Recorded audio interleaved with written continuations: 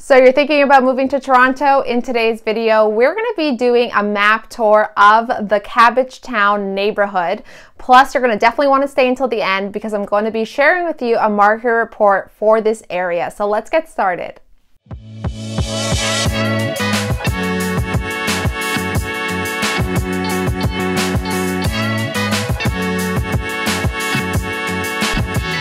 If this is your first time to the channel and you want to know everything about living and moving to Toronto, then you're definitely want to hit that subscribe button and tap that bell notification so that you could be in the know when it comes to everything Toronto. My name is Amanda Azeredo and we get calls and emails daily from people just like you who are looking to make that move to Toronto and we absolutely love it. So whether you are looking to move in 9 days or 90 days, then you're definitely want to click that link down below in the description fill out our call form so that we can give you a call and we can help you make that smooth move to Toronto. So we're on Google Maps, and as you can see, this red line is the border of Cabbagetown.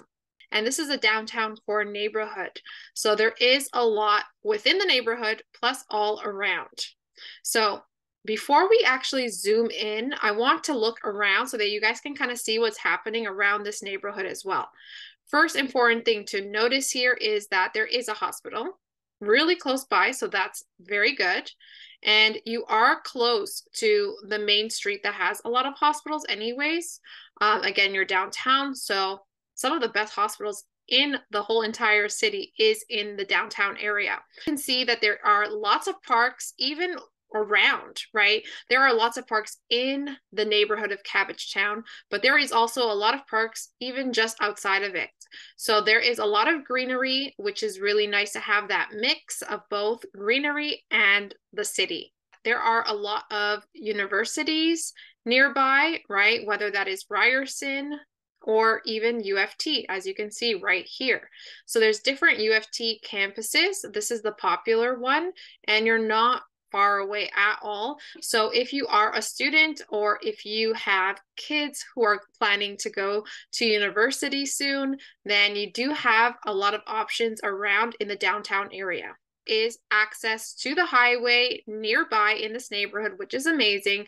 As you can see here on the east side, you have the Don Valley Parkway Highway that's running up and down.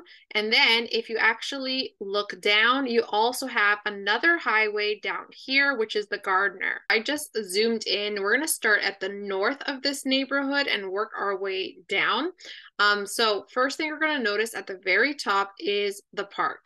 So there are a few parks that are connected here at the north part of Cabbagetown, as well as on the east side as well, as you can see over here, which has the Riverdale Farm and also the Riverdale Park.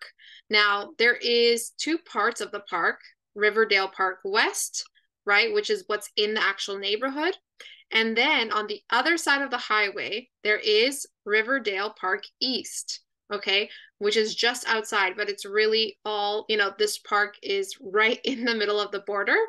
Um, so in the east side, you're going to get an amazing view of the city skyline. So it's very popular to come over here to this side on Broadview Avenue to just get some like nice photo ops and just to see the view. It's beautiful. Um, so that's one thing to keep in mind. But this whole entire park is a lot of fun. There's so much to do picnics, tra- trails. Um, there's so much to do in these parks, sports, all kinds of things. Is what the best part of this side on the west side is going to be the farm.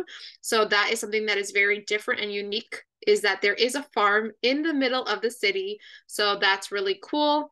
Um, if you do want to see the actual farm, I did do a video of the tour of the neighborhood where I actually show you guys the farm. So you guys go check that out as we move to the center of this neighborhood, one street that's really important is going to be Parliament Street, which is kind of going down here the middle. Now, Parliament, as you guys see, is a lot of commercial buildings. That's because there are lots of shops, there is lots of restaurants, lots of stores, groceries, all kind of things that everyone needs for entertainment and then just necessities like i said groceries and things of that nature and gas station right here you can see and so much more In terms of schools in this neighborhood in particular, there are elementary schools. Okay, so that's what you're going to find in the neighborhood. As you can see, there's two right here, right in the middle, which are very popular ones. You're going to get a mix between public schools and there is one Catholic school. So there are options for you. Um, now, in terms of high schools, you will have to leave the neighborhood, and same thing with colleges and universities.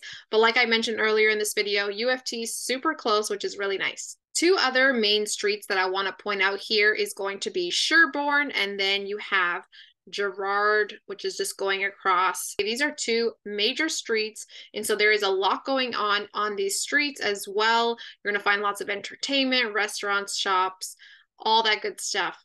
And then as you guys can see on this side, we have some more parks, bigger and small parks. There's even a garden over here on this end and a health center right over there.